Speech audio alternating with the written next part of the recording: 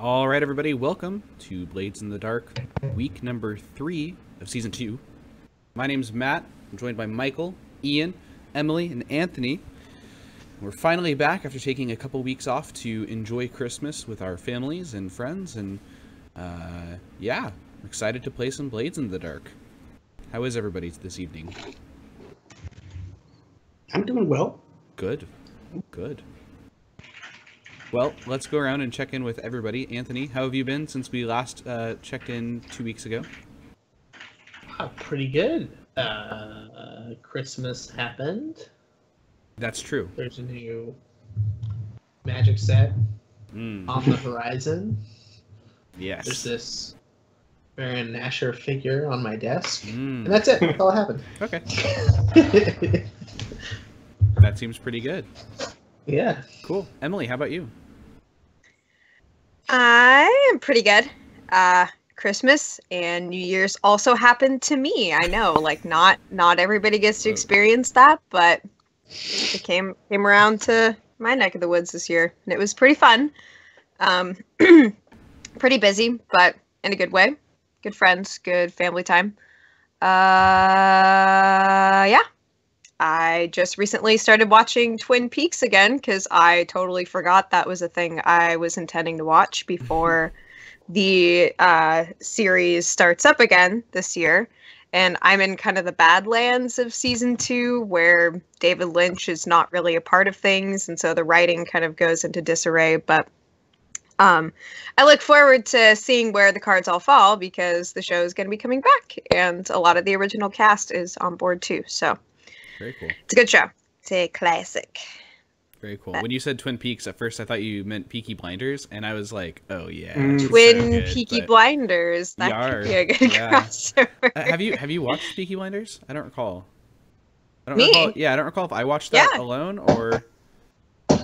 No, we we totally watched the first season together. Oh, I haven't wait. seen the second season. Oh, okay. So wait, you haven't seen the second Whoa or there. third seasons, Uh, No! Emily? I Okay, then you haven't. haven't truly experienced Peaky Blinders. It's Does that mean. I'm kicked out? Well, no. Does You're off the show. No. Okay. I should have known. you should check it out. I know how sometime. much you Everyone knows guys that talked watching- about it. Watching Peaky Blinders is required to even play Blades in the Dark at Yeah, all. John Harper doesn't You know, actually even the like, send you the, the, the thing unless uh, unless uh, Peaky Blinders comes up on your watch again on Netflix. Mm. So I see. I'm an imposter. yeah, I'm sorry. I guess so. Ian, how about you? Uh, I got sick twice. Dude, That's what that. Yeah, But did Christmas Ow. and New Year's happen? That's I- horrible. I recovered. That happened too. But Yeah. like the the kind of to encapsulate how it went, I got sick like two weeks after I got done being sick the first time. So um, just getting over that. Uh, but it did give me a lot of time to catch up on shows and stuff that I missed. Um, watched uh, Over the Garden Wall. Oh yeah, I've heard that's really good. awesome. Oh, it's so good. It it I can't even begin to explain how good it is without like going in depth into how it's great, but it's just so good. Um yeah, I don't even it's like a very almost fairy tale esque um kind of comedy. Uh little like really neat uh animation style. Great voice actors. Um Elijah Wood, Oh really? um, yeah, it's got Elijah Wood. It's got uh, uh, John Cleese. It's got uh, I can't I think of his name Doc Brown from Back to the Future. oh, Uh, Doc Brown is his name in real life too. Yeah. Yeah, yeah, yeah, sure. um, lots of people, lots, lots of really cool actors and stuff. So recommend watching that. Um, also been playing a lot of The Binding of Isaac. Oh yeah, the yeah. I saw the, like, you were playing Rebirth. yeah, the, the DLC for that, uh, the newest one, Afterbirth Plus, came out today. Um, it was like three hours after it was scheduled to come out, and basically, I watched my Twitter explode with people just being like, "When's it coming out?" and stuff. And it came out. I played it for 30 minutes until I had to go do other work, and it was fun. But um, I have like 500 hours in that game. Um, Wait, probably you said you played it for a few hours before work. before work. Yes, but up up until that point, I have had 500 hours in that game. So I see. Okay, uh, I see. it's yeah, top 10 that game. If you haven't played it, you should try it because it's pretty cool. Cool. Very cool. Um, well, thank you, uh, Mike. Anything that you've been up to? Let's see. Uh, mainly, I've been working, and I went and listened to the Giant Bombcasts Game of the Year podcasts that they did this last week. Cool. You've also That's- been uh, streaming as well with the Encounter Roleplay crew, doing some some work as uh, Oh yeah. Um, one of their players in a, a couple campaigns. You just Yeah. started uh, this. Was it yesterday? Yeah, it was yesterday, right? You- Yeah. Yeah. You were Yesterday was a, the first session. Yeah, you were on a like a learn to play D and D show. That was pretty cool. Yeah, it's it's fun so far. I enjoy playing with that crew. Uh, there there's some cool people there. Uh, Will's a super cool guy, and he's doing a decent job doing DMing for all of us. And I say I look forward to playing more. I have Mondays and Tuesdays off work, and So you play role playing games for those days? play role playing games. uh, and when I uh, was inquiring about being on the Encounter Roleplay show, I had to double check. It's like, all right, am I off at this time from my classes that I'm going to be taking? And sure enough, I get off, you know, before noon on Mondays from Great. all my classes and don't have anything the rest of the day. Uh, so I'm going to be able to do that uh, for uh, an undetermined amount of time, I think. Uh, I'm not entirely sure how long I'll be on there, but I'm having a good time. And Game of the Year podcasts are fun, so you should go listen to those Great, cool. because video games are cool. As for myself, uh, I have been uh, playing a lot of uh, Magic the Gathering online because uh, between Anthony's bir- or not birthday, Christmas gift to me, and me deciding to just do it the rest of the way, I bought into Magic Online and have been playing that. It's a lot of fun. I've been streaming a little bit of it, so um, you might have caught a stream of that at some point. If you haven't, you can check it out. And if you don't know when I'm going to be doing that, I don't know either. But you can follow us on Twitter and figure out when I will be streaming it because I always update our Twitter before we uh, go live with that. So I'll go ahead and put our Twitter in the uh, chat. So if you haven't followed that already, you can do that. Um, other than that, Christmas and New Year's also happened to me. I got to spend both of them with Emily, which was really nice. And um, I had Jello shooters at a New Year's Eve party for the first time ever. They are delicious. and I had to restrain myself, which I don't often have to do with alcohol because I, I don't drink a whole lot. He said, with a reindeer uh, decorated beer next to him. Well, you're kind of a Jello Green fiend. beer. though. Come on. Dude, I, I am I am a bit of a Jello fiend, and oh my word, like dude, those Jello shooters, oh, so like I mm, bring them to me. I love get- those. Jello shootered. No, I actually didn't. I only had like I only had two of them. Um, I'm also an incredible lightweight, but like I I didn't I didn't I didn't get any strange feelings. I just really liked the way they were. so uh, in the future, in the future, I'm gonna learn how to make those so that I can enjoy Jello shooters as well as a rain beer. Um, Ha! Ha! so. you did it. Congratulations. You've been waiting all day for that, haven't you? No, I actually, I actually, so my mom did this right for Christmas. My, my parents, okay, for Christmas they were. I don't, I don't know what happened. Emily is kind of laughing. I ended up with two Star Wars themed potato heads. I love Star Wars, but what the fuck? Like, I I have I've okay, so I literally was so excited because this year I finally got rid of a potato head I got. I got a Mr. Potato Head like two years ago for Christmas. Uh, that was like a Santa one, and I finally got rid of it in a White Elephant gift exchange, which Ian got something from, which is pretty cool that he should show later as well. I was so excited that I got rid of it, and then Christmas morning I get like, oh, uh, uh, Darth Tater and Luke, Yeah. Luke Frywalker. Yeah. Uh, yeah, so I have them in my closet where they will be until I find a way to get rid of them. um, The trash. I love my family; they're great. Uh, you know, they, they love they love to play a prank on me. Uh, but yeah, uh, they also got me a six pack of of, of uh, Pelican Brewing's uh, Bad Santa series Cascadian Dark Ale. It's quite nice, and they uh, they put googly eyes and a nose and a pipe cleaner antler on it. It's impossible to drink with the antlers on. I was about to say.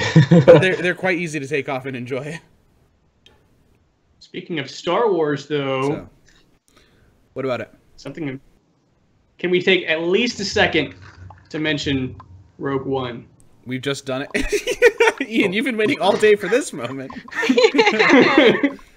Yeah, dude. Yeah, Rogue One was was good. Emily and I have seen it twice now. Enjoyed it. I loved it. You still haven't seen it, Anthony? Nope. All right, everybody. Thanks for watching. Uh, we'll be back next Bye. week, uh, January gotta 10th at Anthony to the 6:30. Pacific. Thanks for watching, and good night. Anthony's not one with the force, and the force is not with him. So I mean, That train isn't going anywhere. yeah, no, no, it, it'll, it'll swim away in its midichlorians. So It's everything. man. I was going to say actually I'm more of a metachlorians kind of guy, but Mm. here's here's my my hot take on Star Wars. I have no problem with midichlorians. And with that being said, let's play. you also like in Jar Jar Binks. yeah. It's true. move- moving on. True. Moving That's on. the kind of guy he No. is, and he loves Jello shooters. Hell yeah! That's not actually kind of a complete picture right there. that was like the kind of guy that would want to sell you death sticks, really. You know. Oh That's yeah. what everybody's different, you know.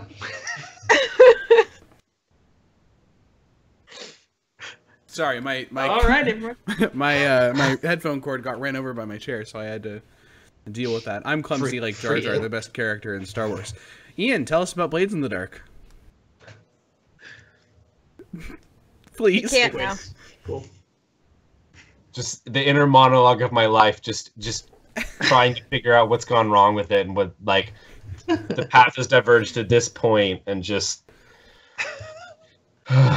anyways blades in the dark that's the uh, game we're playing today. Yeah. it has nothing to do with anything we just talked about No. i think yeah fortunately yeah yeah played blades Rogue blades in the One could be a Blades in the Dark score. You know, it could. It would be a much Maybe better Age of think- Rebellion campaign.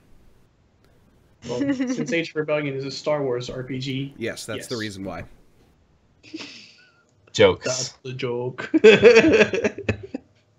anyways last time on blades we uh we did downtime that's what we did Mhm. lots of cool stuff happened there talking with vampires and talking Yes. about machines Machines and talking to guys that make sword canes as well that happened too Mhm.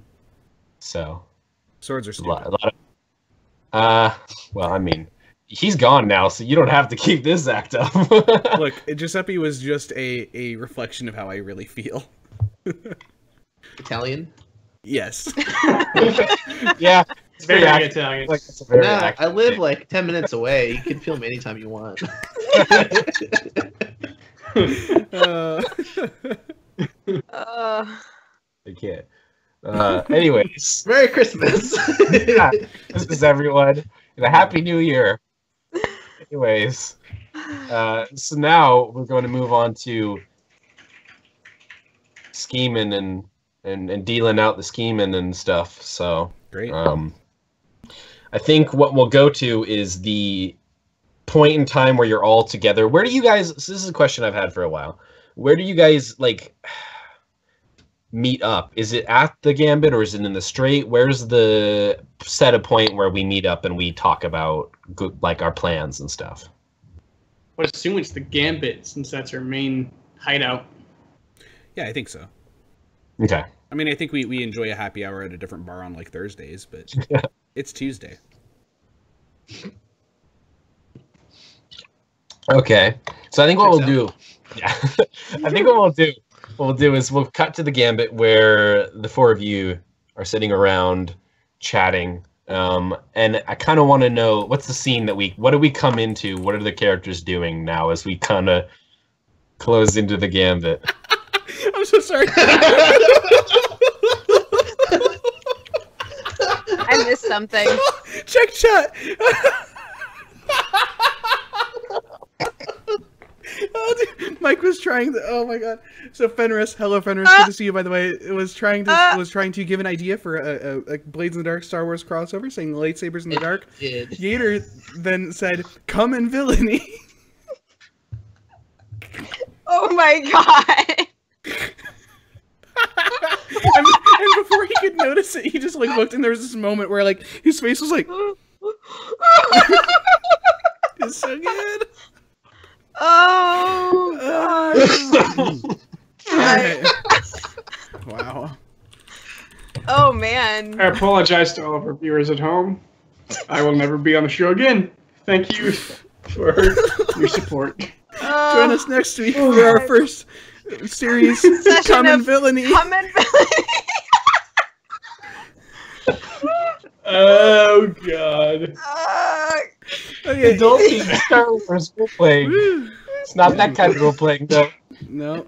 Is Oh, is boy. ultimate It's just form got of a whole music new in the meaning. Star Wars universe. All right. All right. so how's things in, in Duskwall, where there Ah. where there is not I don't know what at this Mike has point. said? I'm kind of lost at this point, but uh, You're breaking my immersion, Mike.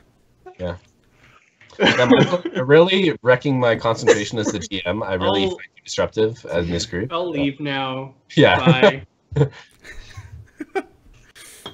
So we're at the oh, Gambit. yeah. The three of you are now sitting at the gambit. no, uh, yeah. So the group, I think it's it's the the meetup, right? This is the time where you guys have set aside to plan your next engagement, um, and uh, and so I kind of want to know what like what do we see as we get in? Like, are is there like is it maps? Is it like you know notes? What are we seeing as we kind of come into the scene? So I think that um, Oscar probably has laid out on the table, um, like like everyone uh, everyone else uh, probably I don't know if you feel crowded or, or something, but like Oscar's stuff is taking up the whole table. He's got his like bag there, and he's got like a couple different folders with papers, and he's like handing out papers and being he's telling you guys to look at them uh, and and check out uh, all these different locations, different people of interest. Um, just all sorts of different like cold cases that exist or um, leads that existed for cases that he did in the past that uh, maybe would now serve as like a good place to to do something new or expand our operations. Okay, I think that uh, Weaver would probably be very interested and attentive to uh, to anything like that. So he's he's doing his best to, to pay attention to your lead on that, letting you take the floor, but paying attention. What about Lyric and Krisa? Um, I I imagine that. Are so are we sitting at the bar or around a table Around a or? Okay, that's that's kind of what I was envisioning. I I imagine that Lyric would be sitting back in a chair with, um, her heel kind of propped up on the table, so like, u- ultra lyric casual. Um, but but she's she's thumbing through some some papers and, um, and she's listening as well. I mean, how interesting are the papers? Oh, I mean that totally depends to you. A lot of them are are or depends on you. A lot of them probably are more interesting based on what's there. Uh, They're all just like uh, pictures of buildings or people and like descriptions of the location. It's really just like I, I like notes after Oscar has cased a joint or like. Um, so it's detective work, yes, not research. It's a little bit of both. You know, like it's. Well, I'm not saying that there's a di- mm, that there's no difference between them, Sure. but it is, It's definitely uh, it's more. about um, yeah, it's detective. people and places rather than things. Yeah, Okay. Well, what cases? Uh, sorry, Krisa is playing with rats, So or looking like he's not playing with his rats, but he is. sure, he's like under the table, like Yeah, he's like, well, like in his coat, like. yeah, yeah. So uh, Oscar is looking through him, and he's just he's not really paying attention to any of you. His glasses are down, and he's just like, all right. And then there's this one, and this one's a little bit strange. The uh, the Lampblacks used to own this one, but then the Red Sashes took it over, and then there's these other guys, the Crows, and they took it over as well. Another time, I don't know who owns it now, but it kind of is a hotspot for gang activity, and he kind of like thumbs through and he looks up and sees Creasa, and he's like, and uh, Creasa, this one might be interesting to you. It's a chemicals warehouse. I don't know what they've got in there, but it might be used something. Used to be a coal warehouse, and then the Lampblacks took it over, and then the Red Sashes took it over, and then after them the Crows, and then after the Crows the Lampblacks again, and then it was a chemicals factory. They probably got a lot of smells. It's, I'm, yeah, I'm sure. And uh, Lyric, this one, uh, this one's a dock house. It's not very large, but it's got some stuff there. Might be interesting to check out. And Weaver, Yeah, this one's got cane swords. It's stupid. I'm just kidding. he uh, he doesn't give any, he doesn't give anything to Weaver that's specifically like this might be interesting to you because I don't think Oscar knows what would be interesting to Weaver. I think that uh, uh, Weaver, he would ask, uh, you got anything on specific people that we might be able to to get in contact with to grow our network? Do you mean foes or allies? I'm looking for allies specifically. Okay, well, allies are harder to come by than than foes in this city. Uh, I've got some files in my office. Who are you looking for? Or what? Looking for looking for someone that we might be able to go through to to sell any of our goods that we come by by shady means. Ah, so you're looking for either a, a black market merchant or someone with some fine taste that maybe can't get them otherwise? Mhm. I may know of a man. There's one in, uh, well, he used to live in Brightstone, but he went bankrupt. Uh, he was a collector of fine arts. Uh, as it turns out, his fine arts were uh, demonically possessed uh, from Tycheros. Uh, it's kind of a strange one, but I don't know. Maybe he's still around. He uh, he moved to Charhollow after he got bankrupt. He found an apartment there and has been holed up. Last I heard, and that was I don't know, two years ago. So he may or may not be there. He might be willing to buy some stuff if we can get the right people to give some Tycherosi artwork. Might be worth looking into. Aye. What about the rest of you? What do you say? Anything else pique your interest? Anybody? I can go look in my office.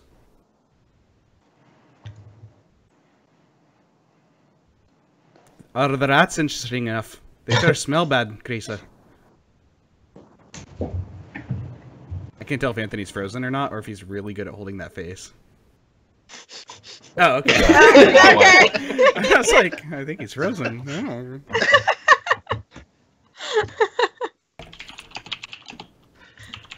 I don't know what any of this means. Well, boys, it seems that we need to. Uh, he, he looks up and sees Lyric and's like, "Sorry." Uh, well, folks, it seems like we uh, we might want to uh, consider expanding what we've got here. We've got a cafe, we've got a, a bar and a restaurant together. Although, admittedly, the restaurant's kind of shite. We should talk about the cook later. Uh, maybe Wacasis can handle that while he's on his off time. Uh, perhaps we should uh, find something that helps us with our smuggling something that'll uh, either keep our our port at the at the strait safe or something that'll uh, keep traffic going through it. Perhaps we need to go on an ad campaign. I don't know. Silas was better at this than I am. What do you guys say? I say now's as good a time as any. For which one? Whatever you want. Lyric is kind of she's kind of been distracted, still kind of mulling over the Scurlock situation, and she doesn't necessarily want that to be what she brings to the table, so she's being super accommodating. Sure. I think I think Oscar actually gets a little bit upset. Um, and, and he, he looks at you and when because he's like trying to like bring up an idea and like Weaver was like yeah maybe we should do this and he brought it up to you guys because frankly he cares more about your guys' opinions right now because again he just doesn't know Weaver as well and he looks at Lyric and says Lyric ever since I've been back you've been gone you've been here but gone something's not right in your head are you with us or are you somewhere else is there something you need to attend to oh, I've I've attended to a thing or two. Trust me, I'm I'm trying to get back into this. well Don't worry about it. all right Don't worry about me. All right. Perhaps it's just my own self looking into this a bit much. Yeah. It's good to be back and working with you. Both of you. It's good to have you Uh, back. and when he says both of you, he, he means just you, Lyric, even though he was looking at Anthony and thinking about Wacasis. I'll, I'll take And, it uh, all. I gotta go. Thanks, guys. See ya. Okay.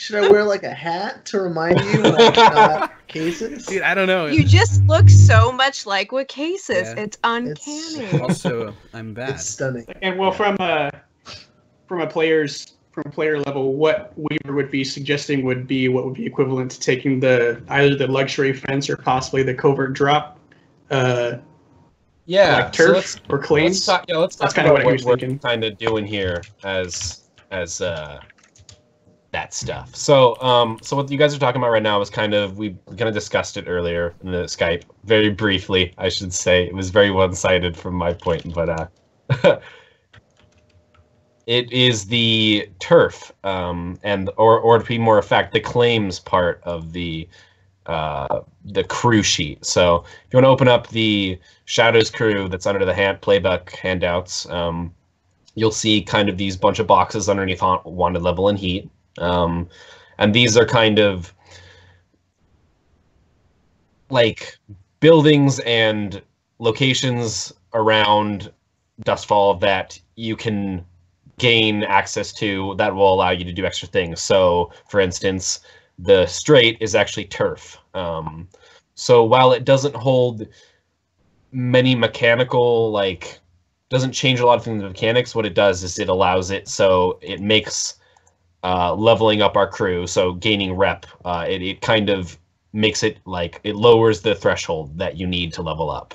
Um, so having uh, turf makes it so we need, I believe, eight rep to level up um, because the ninth is always filled based off that turf. Um, so, if the you go reason- to the that, reason it's good to get turf is that it makes it easier for our crew to level up. Yeah, it makes it a lot faster for um, your rep. So basically, in order to, you know, level up rep, um, you have to. And this is actually something that that John has just like, he's been working on v- uh, version eight of the blades like mechanics, and uh, from what I understand, and I'm not 100 percent sure, this is kind of the final.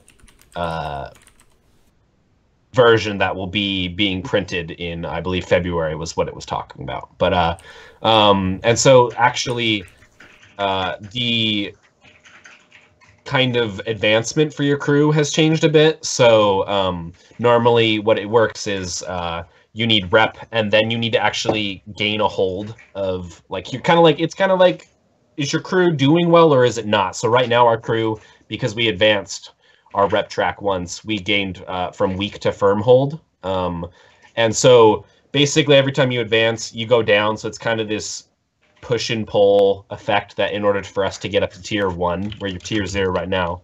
So in order to get to tier one we actually have to get a strong hold. Mm. um, so there's going to be some changes to that in the future. Um, we'll deal with that when it comes but that's where turf is. Um, the other claims all do different things if you're looking at so like uh, for instance covert drops um, you, every time you complete an espionage or sabotage uh, like operation, you gain an extra two coin. So does that For- count as a turf as well, or is that just like is that No. a specialized turf or? Oh, okay.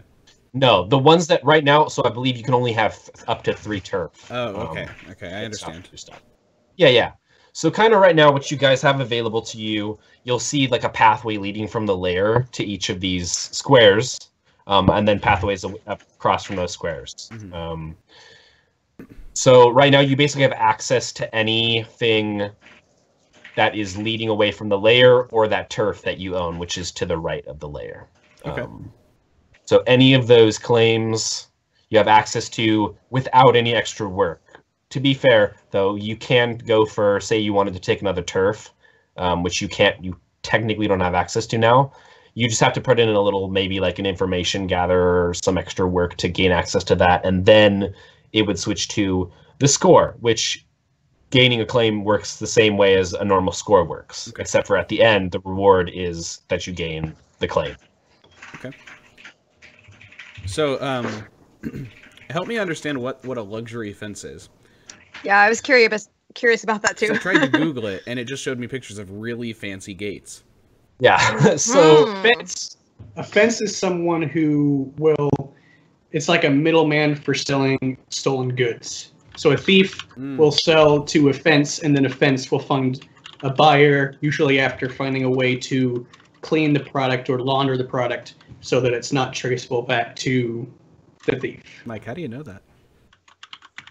It's like an I elder watch White Scrolls Collar, steel. I guess. okay, well, now that I understand what you what that means and and what you were talking about there, I think that after that conversation happens with uh, Lyric and just sort of talking about, you know, is she is she all there? Is she making sure that she's still committed to, to what we're trying to do here?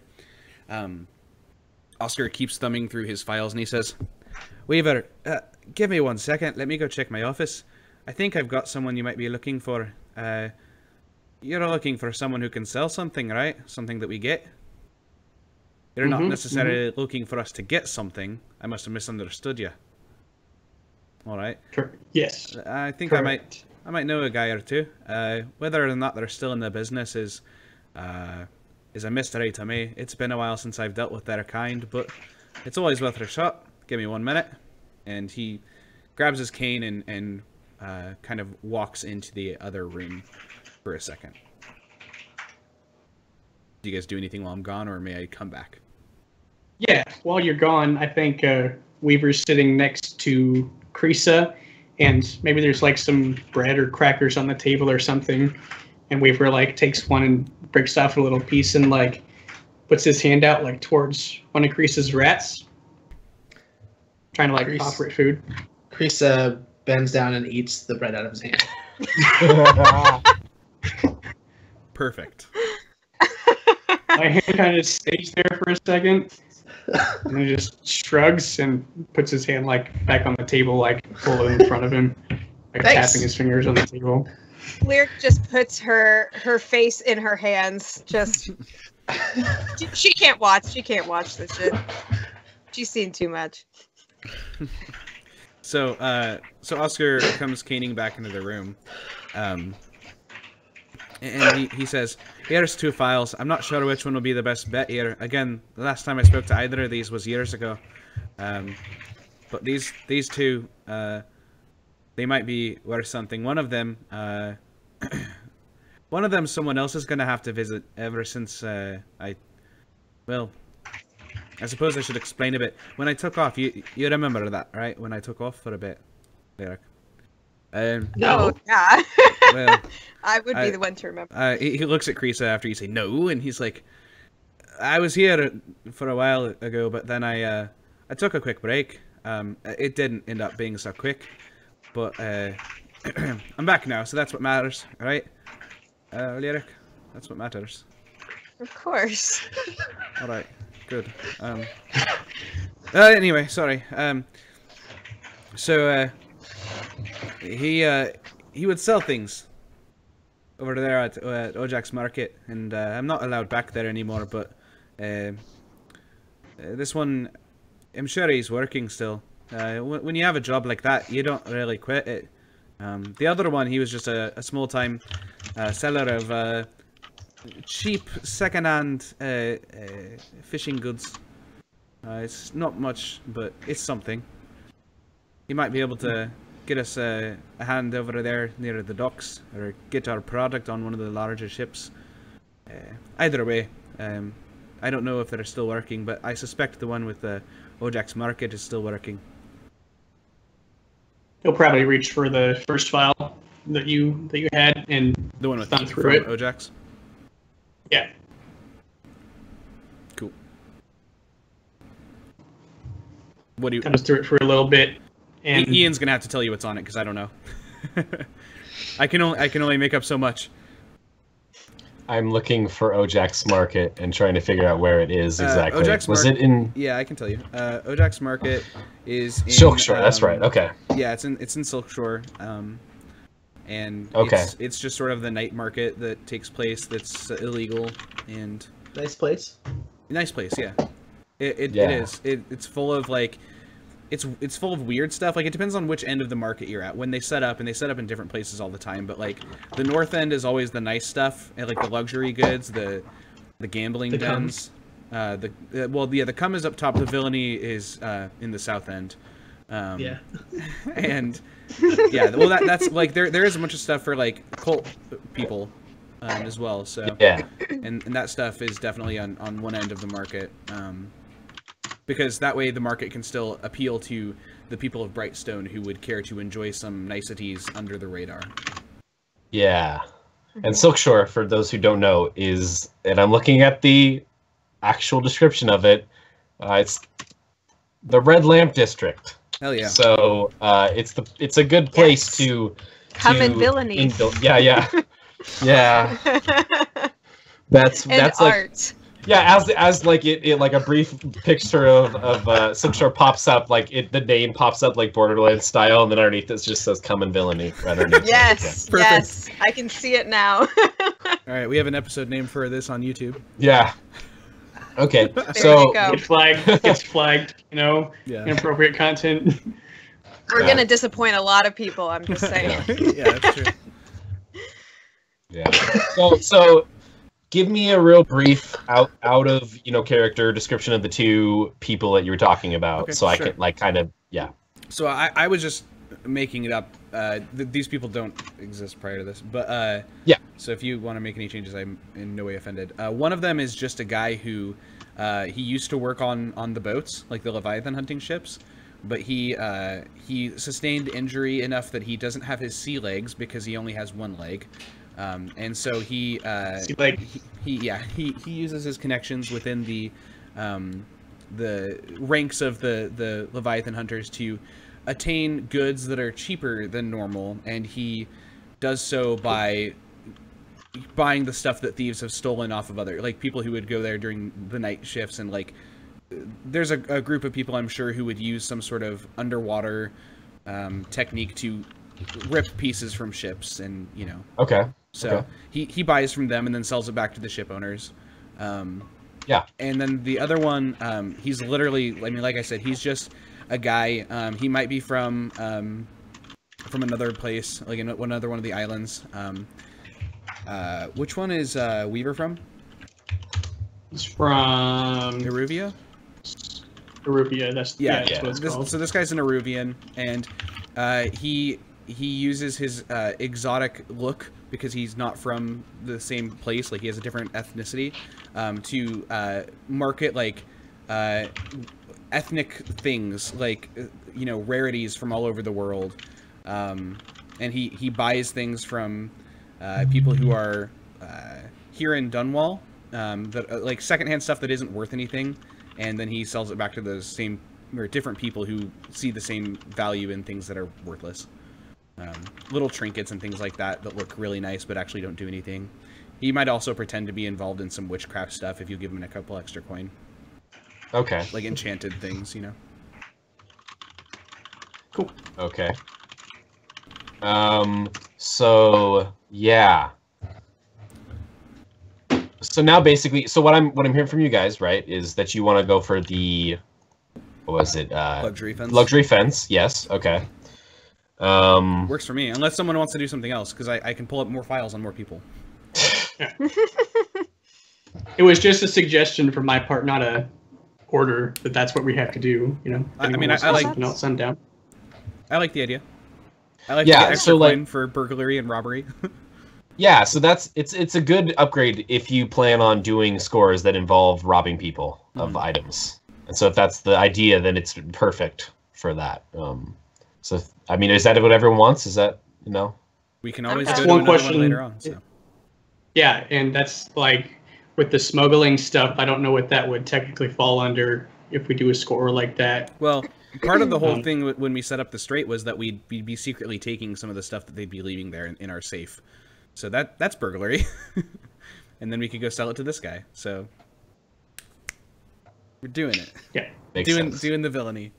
Okay, so you've got two options. Um, I'm gonna have to narrow it down to one because obviously, uh, I think I'll go with the Silk Shore guy since we've talked about it a bit. Although I'm, I'm, I'm tucking that little other guy in the the back of my brain because I like the idea. Um, so, so we're going to go with the guy in Silkshore. Um, and and so here's the thing: how nor- like so how getting a claim works is you say which one you want, um, and I have to tell you which crew owns it. Um, Mm. so the idea is that every bit of Duskwall is owned by somebody. Um, as a new crew, you kind of have to deal with the fact that you're new and that everyone else owns everything else. So, um, unfortunately, this guy that you knew is now under the careful watch of a crew. Um, so let me Yeah, he, he, he probably got hired out by somebody. Yeah, no, and it's like it's one of the situations I can tell you now where he doesn't. It's much like what's going to happen when you uh, have him working for you. Uh, is basically there's not a whole lot of choice, but we'll see. Um, it's he right now. He's been currently uh, pulled into the service of a gang. Let me pull up my gangs. I'm trying to think of which. I think which page is that on? I have it on the. It's on the it's on the handouts too. The factions. Yeah, yeah, yeah. And is the is the Silkshore merchant the ex Leviathan hunter guy or the Iruvian guy? Uh, it's the Is Iruvian that- guy. Leviathan up there. No, no, no. It's the Wait, Iruvian it- What? guy. It is the Iruvian guy. Yeah, the the Silkshore guy is the guy at the market. The the Leviathan Okay. Hunter is a different guy. Oh, shit. okay, okay. Well, fuck me. We're doing the Leviathan Hunter guy because I got mixed up. Oh no! I'm fine with See, either. and so- a friend. Maybe no I'll come know in him. villainy for this episode of Blades in the Dark. Yeah, so um, this guy, he's actually right now uh, at the where the at the docks, uh, where obviously it makes sense for him to be. Um, and it's actually a perfect location for you guys to control because Crowsfoot is next to the docks, Mhm. so it kind of synergizes really well with the operation you have going for you. However, he's been pulled into the surf the uh, service of where are they? Not Leviathan Hunters. You guys would get wrecked by them. I would What are you- get what are you by saying? Neighbor, sir. I'm saying that a tier four gang would fuck you up. Ain't nothing. I mean, if you want, Nah, no, uh, nah. So they are actually he, yeah. So this guy's in the service of a gang you've encountered before. Um, in fact, it's bad luck on their part and yours that he they're now uh, the second turf that you're going to be stealing from them, uh, which is the Foghounds. Yay! Wow, those guys are Uh. getting shit on. Yeah. They basically, within the last time we saw them, systematically, their luck has gotten even worse, and they're they're they're getting closer to their patron, but also that they've been looking forward to kind of like give them money to steal things from people. And uh same point in time, thieves stealing money from people don't, you know, end up very well. So uh now so now that I've told you about that, I should also preface that uh, stealing claims is really, really bad. Um, No, it's good. You're, Uh, yeah, it's good for you, but it's bad for other people. So unfortunately, if you do attempt this, it's going to be uh, probably a negative two to their rep, which will put you at war with them. Um, many of them are there left? Because I imagine there can't be too many. they're still tier one, so they're probably. I'm trying to remember. There's probably like you know, eleven or twelve of them left. Um, roughly, still they outnumber you still, but um, I mean you're players, so you've got a bit of an advantage. So I tell so I tell the crew when someone speaks up and says maybe we should investigate the, the Leviathan hunter, and I say, uh, last I heard from him, he was getting attention from the Foghounds. You remember them, don't you, Cleric? Uh, they're the ones who uh, we took the strait from. Real gobshites they God. are. Yeah. Well, they're all already got to be pissed at us, right? We took their croissants. That we did. Aye, so uh, perhaps uh, it's not so bad to make an enemy a worse enemy instead of making an enemy anew. Uh, what do the rest of you think about that? I like it. So I- they have more croissants. Perhaps I am. I'm not sure. I'm it's on board. possible. better to put all our eggs in one basket, I guess. whatever they got, the rats are gonna love sticking around near the docks. There's plenty of old barrels that aren't sealed. Don't encourage him, for the love of God. it's. I, I kind of look at lyric. It's important to keep everybody on the same page.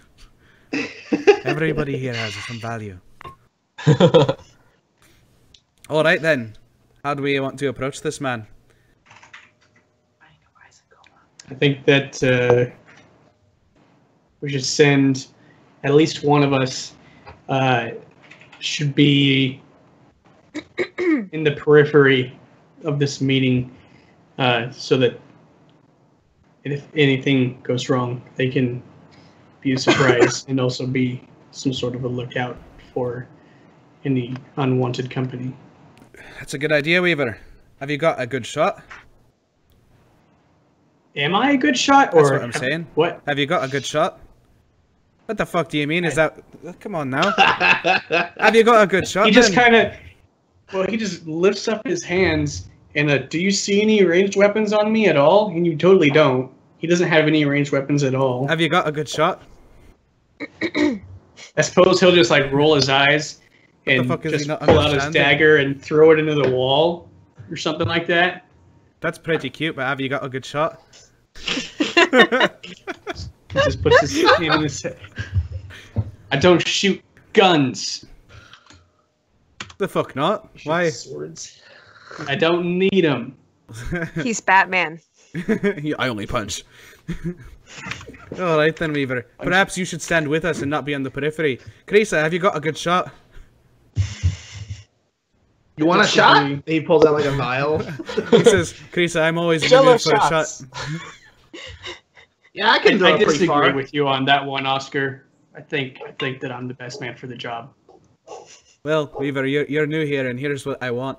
I want you to be standing with us. If the shit goes down, I want you and your knives to be right there with us. I don't want you standing in the background. I don't know you enough. That's the simple truth of it. I trust these guys to stand behind me, but I don't trust you. Not yet. Not that much. After this job, perhaps, but I trust the Leak, You're the with, boss. Leak with my life. Not the, not the rest of you. Not yet. It's no offense to you. You understand, right? You can't even answer a question. Have you got a good shot? I'm just fucking with you, mate. he like Goes and- slaps you on the side he of the goes head. and gets his dagger from the you fucking idiot. Yeah. Yeah. Pretty good then. Carissa, kicks your cane out from under.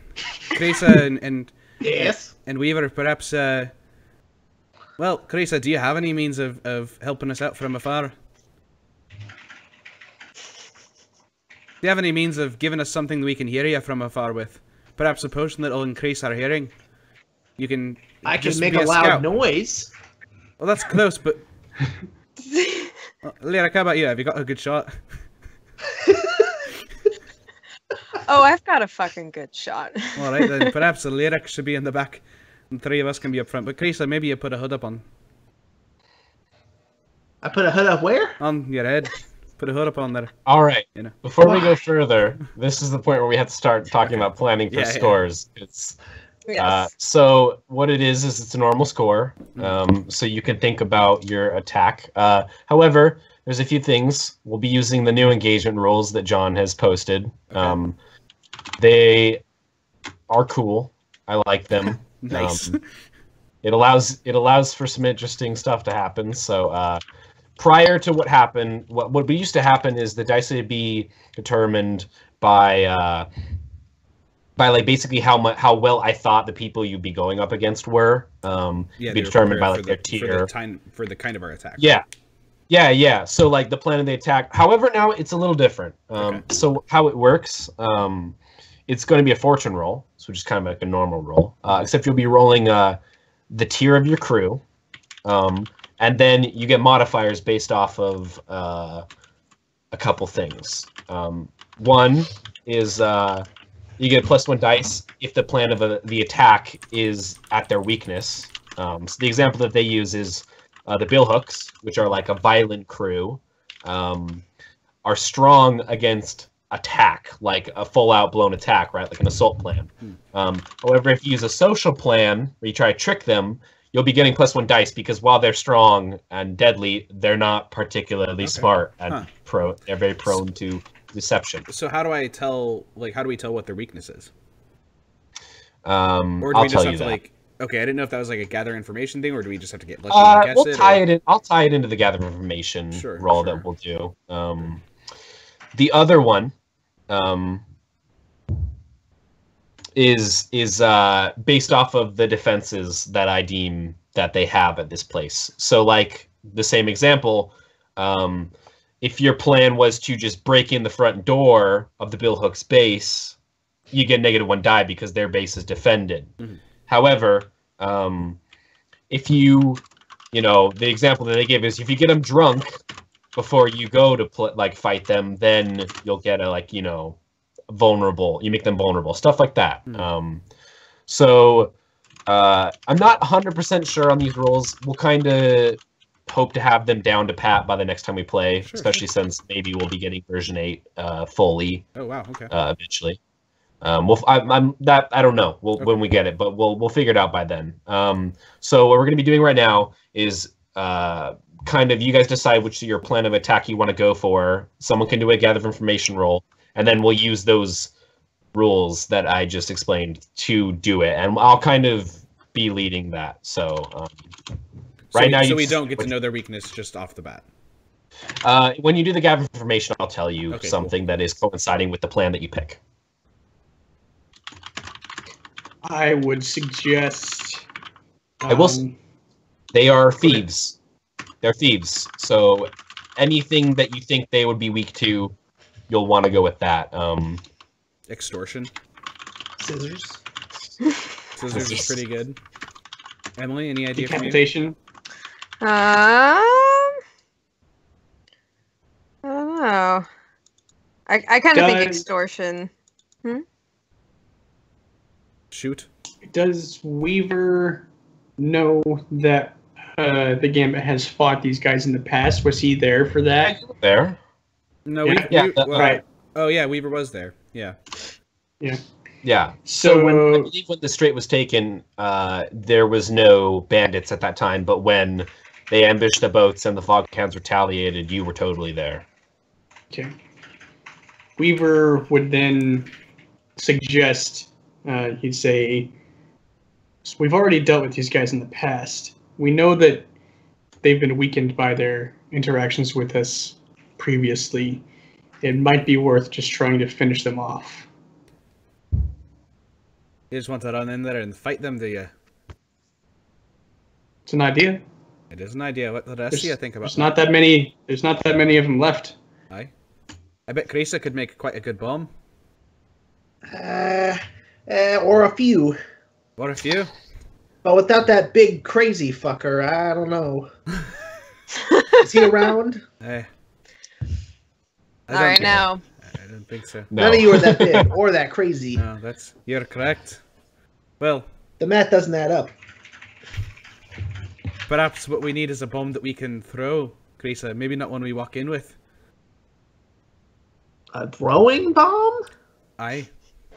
Like That a way- cannon? That way, none of us have to be crazy or big.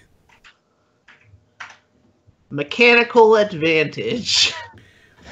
What about if we staged something? What about if we? Police? Mm, no. What about if we staged something wherein? Well, what about if we staged something wherein uh, one of us gets kidnapped and uh, gets held for ransom, and we can create some sort of uh, situation wherein the one in the inside is the one doing the the real damage. It's sort of a reverse distraction. We gussy one of you all up, make you look real nice, and walk you in front of their base a couple times. They'll come over there and, and probably mug you, or at least do something like that to you, and try to sell you off for a ransom.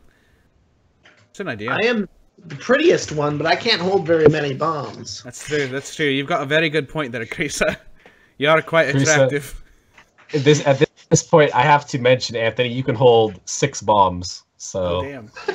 Ooh.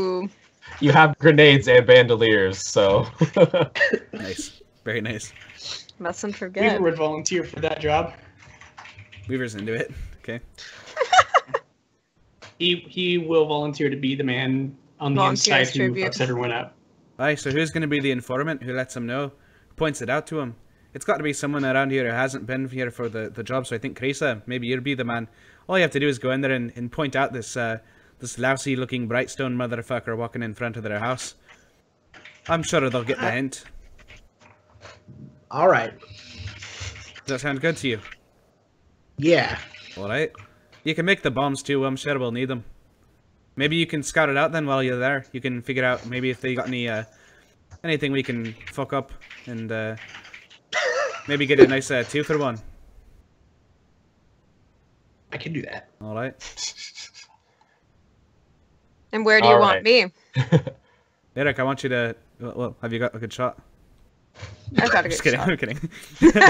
uh, Derek, I think that for us it's a it's a matter of being the ones who are gonna go and pay the ransom. So uh, I think we, we've got to be armed the, armed to the teeth, and perhaps uh, I'll be the old man, the father of the man who's been kidnapped, and come and try to pay the ransom, and you'll just be my my strapping bodyguard. I can handle that. I'm sure you can. That way they won't be they won't be surprised if you're armed to the teeth. They'll know better. Oh yes. And this has been planning with Matt Dennis. Yeah. So tell me, what plan exactly is this that It's we're a doing? fucking Sounds deception to it's, me. A, it's a, A faux special kidnapping slash bombing. Okay. Sounds like deception And then- might lead into an assault. We're You know, stealing. Yeah, I I think It it's, a, like it's, a, a it's a steal deception. It's a deception plan. Because Yeah. the, the goal is that Weaver will be able to like plant some bombs in there while he's kidnapped. Like they'll they'll kidnap him and like he'll be able to have s- at least figured out some way to fuck him up from the inside, and then the rest of us Okay. can be there to give a ransom while he starts the process, and and Krisa will have a good opportunity then. Excuse me to to help out with that process by scouting it out and giving Weaver the best shot. Is Okay. this a straight up deception plan, or is it a linked plan with a deception plan assisting an assault plan? Um, Is the goal gonna of the say bombs to distract or to kill people? Yes. I'm gonna say it's I mean- deception plan, just normal deception plan to kind of simplify it right now. Um, so your plan is to It's to bait the hook and then switch it. so so you're you're planning on essentially throwing like pretending to throw out like Weaver as like a member of the Gambit. Uh, no, Um, so well, not even as a member of the Gambit, but as just a fancy rich guy. We'll we'll cover Okay. him in a bunch of like a bunch of shit that we've got lying around. That's like all of our best shit. We'll we'll go raid Case's closet, you know, and then uh, Okay. and, and then we'll have Krisa point out that like, you know, there's a fancy guy walking around here, and it's not Brightstone, and these thieves, the Foghounds, will look at that and say, ah, an enticing target. So It is worth noting that Weaver, by default, wears fairly fancy clothes most of the time. check your privilege, Weaver. Yes.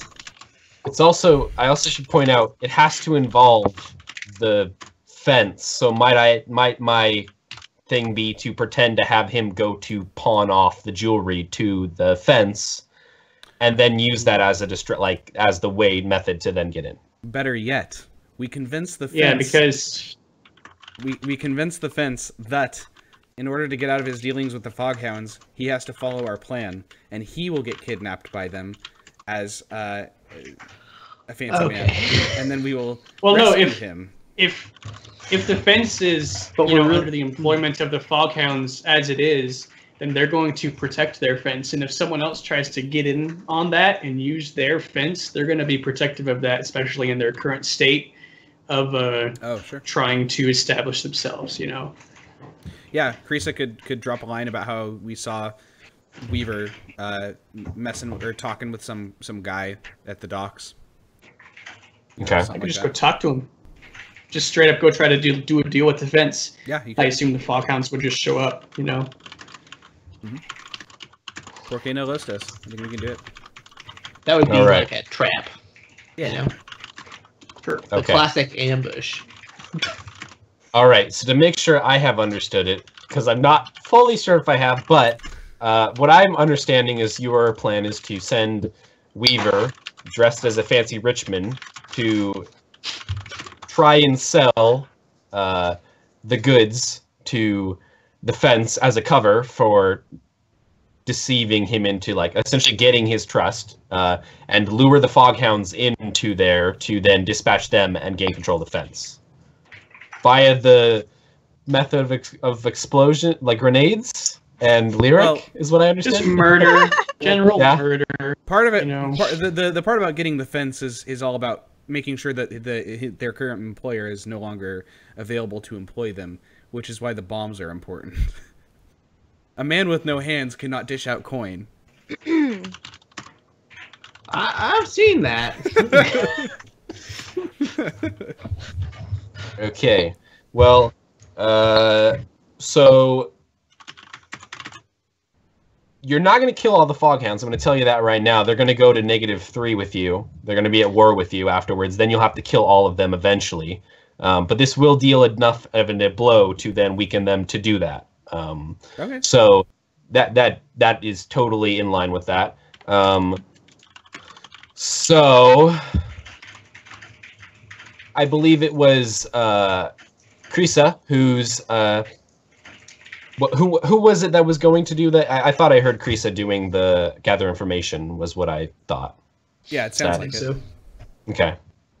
I could Okay. also suggest that since I will be talking to the fence, that me and Krisa could do it as kind of a group action, because Weaver, while he's putting on this charade, would definitely be, you know, looking around and trying to get as much, you know, visual information as possible. Okay. I mean that I, th- is that does that sound good? Is that like uh do you guys like that? Yep, makes sense. Okay. So we are going to do that gather information roll. And I should say that this is not something that uh, is necessarily happening in sync with the operation. I mean, do you want to happen in sync with the operation or do you want it to be like a before the operation you sent these in them in as like like to kind of review I think it? we, we would have done it before the operation. Okay, okay, cool.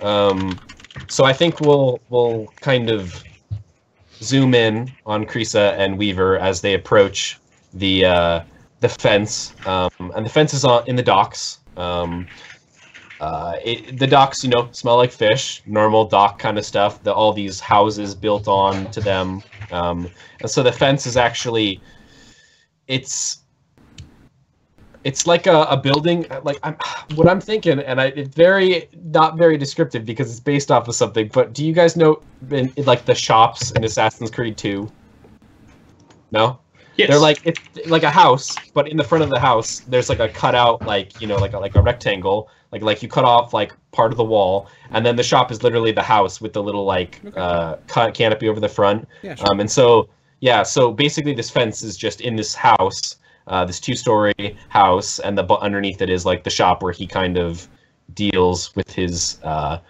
lucrative goods. Um, so, what you're going to be doing is you're trying to find a way to uh, get into contact with him and uh, the Foghounds. Is that what I'm understanding? Yeah. Well, the fog I think house so, by yeah. proxy, right? Like I think Krisa Yeah, yeah, yeah. Yeah. Okay. One question I would have uh, is since it would be impossible for us to completely kill the Foghounds during this score, what is it that it would take to fully wipe them out, you know, in the future after we get this completed? I don't know if I can tell you that right now. Sure. um, I've only prepared for this score. We'll, we'll, I'll, I'll tell you, I'll tell you the situation afterwards. Um, but I will say they're tier one, so it won't be. It's not impossible, and it's a doable thing that you'd know right now. Um, dealing with them. Um, so I think we'll we'll cut to you guys at the place. Uh, the person in contact you were with is his name is Meyer. Uh, gosh, what was his last name? Meyer Com- Comber or Comer. We'll we'll call him Comer. M Y R E C O M B E R. Meyer Comer. Um, was he the one you said had one leg, Matt? Yep. Am I- Yep. Okay, so still one more than Nogs. Uh, Yep. um, One so less than we Dennis cut Berger. So- Yeah. um, so uh, we cut to this. He's kind of like a very tall, skinny guy. Um, very like sunken eyes, kind of haunted look to him. Like he's seen some deep shit, and you know, like at pretty much any sailor you've encountered. Um, and he's kind of sitting there playing with some like puzzle cube kind of thing going on. And as he, as using approach, uh, he's like, uh, kind of eyes you up, and he's like, "What do you want?